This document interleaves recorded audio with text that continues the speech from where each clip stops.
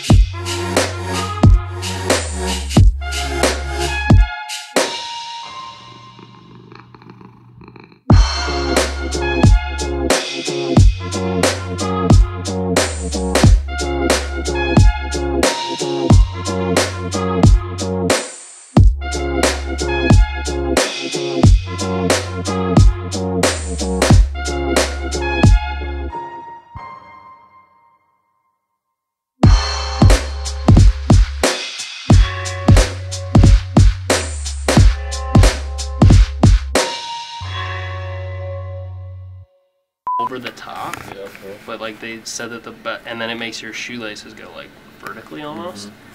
And they say like to do it, you take it and you go like underneath instead, and then it makes them go like sideways, but it also is a tighter knot. Alternating which sides they're on. Yeah, this is. I think this is probably just me being insane, but I feel like it pulls. So you pull it this. Balance. You put them all on one side. It pulls the mesh all on one side. Yeah.